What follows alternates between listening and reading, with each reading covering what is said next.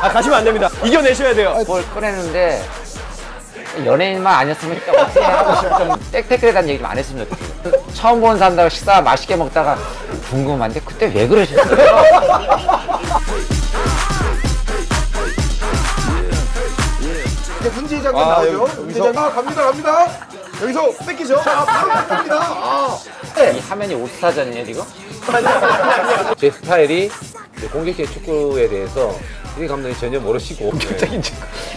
이용표 골키퍼가 공격적인 축구예요. 아 근데요 요즘 골키퍼들이 공못 차면 골키퍼를 잘 못해요. 네, 지금 공격적인 축구 지금 키스.